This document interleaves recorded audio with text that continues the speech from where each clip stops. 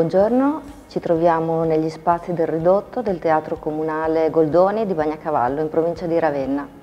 Questi spazi precedentemente utilizzati come uffici comunali sono stati oggetto di una ristrutturazione terminata nel 2019 che vede questa stanza rettangolare come spazio di, dedicato a incontri, eventi e spettacoli dal vivo mentre le tre stanze adiacenti sono dedicate a spazi espositivi. Il teatro fu inaugurato nel 1845 dopo che un consiglio comunale del 1839 deliberò la sua costruzione sulla piazza principale e a fianco al municipio. Fu dedicato nel 1907 a Carlo Goldoni, il cui padre esercitò la professione di medico qui a Bagnacavallo. Il progetto architettonico ehm, che risponde a dei requisiti neoclassici fu affidato a Filippo Antolini, una figura di primo piano dell'architettura ottocentesca bolognese. Gli affreschi sono del pittore, decoratore e scenografo ferrarese Francesco Migliari, mentre gli stucchi di Antonio Tognetti, sempre bolognese. Il Teatro Goldoni nella sua storia più recente, gestito da Accademia Perduta Romagna Teatri, è anche un centro di produzione e ospita eh, anche un'altra accademia importante che è Accademia Bizantina, eh, un'orchestra di musica barocca. Eh, storicamente il Teatro Goldoni ha sempre accolto eh, rassegne di grande valore e, ed è veramente un patrimonio per la vita sociale del paese.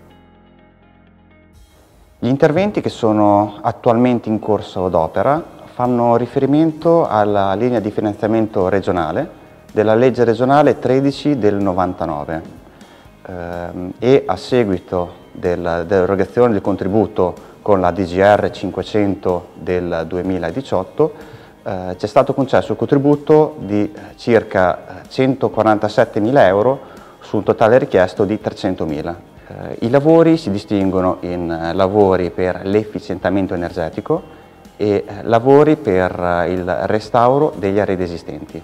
Le forniture sono anch'esse di due tipologie, sono le forniture di, delle sedute del, del ridotto e la posa in opera con la fornitura del, di nuove sedute che andranno inserite all'interno della platea.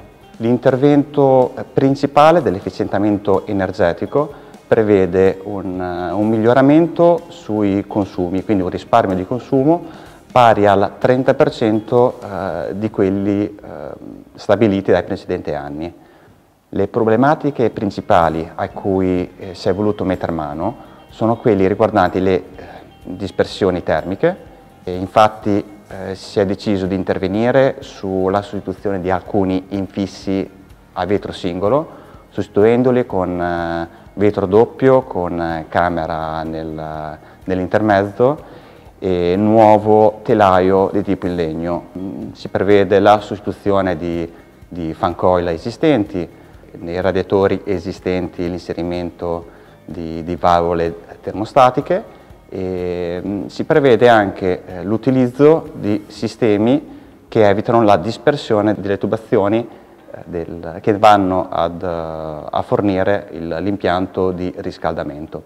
Uh, vengono anche realizzati interventi di restauro. Questi interventi di restauro vengono affrontati in, per quei beni che sono datati dal periodo uh, Luigi Filippo, quindi metà 1800, fino ad arrivare alla prima metà del 1900.